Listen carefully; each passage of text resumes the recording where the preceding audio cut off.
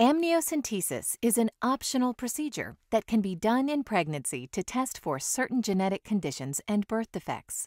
Amniocentesis is usually performed at approximately 15 to 20 weeks of pregnancy at a doctor's office that specializes in doing this procedure.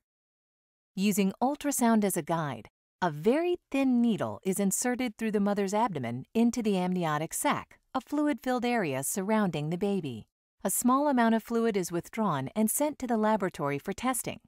This fluid contains some of the baby's cells.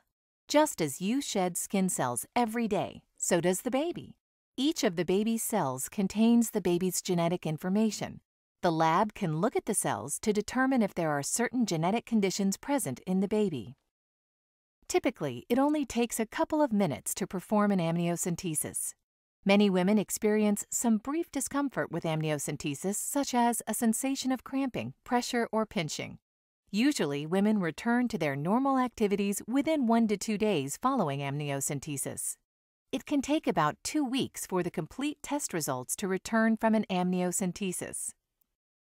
The most common conditions detected by amniocentesis are chromosome conditions, such as Down syndrome, trisomy 21, trisomy 18, trisomy 13, and differences in the number of X or Y chromosomes.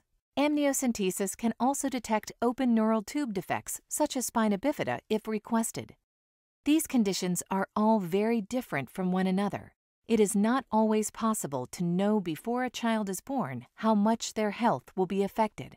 In some cases, additional genetic testing may be ordered to look for other conditions. There are other specific genetic tests that may be requested if a known genetic condition runs in a family or an abnormal ultrasound finding is seen. It is important to know that amniocentesis cannot detect all genetic conditions or birth defects. No test can guarantee the birth of a healthy baby.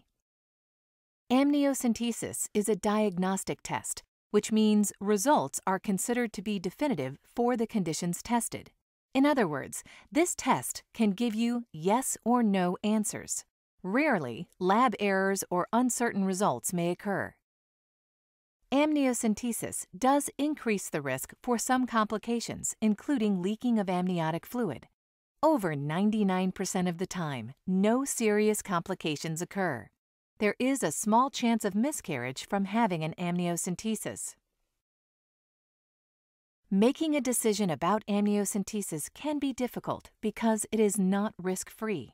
However, a diagnostic procedure such as amniocentesis can provide more definitive information about genetic conditions in your baby and can provide information about more genetic conditions than other screening tests, such as blood tests and ultrasounds.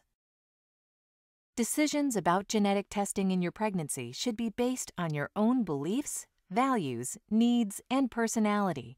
See our video, How to Decide About Prenatal Genetic Testing, as you consider your prenatal testing options.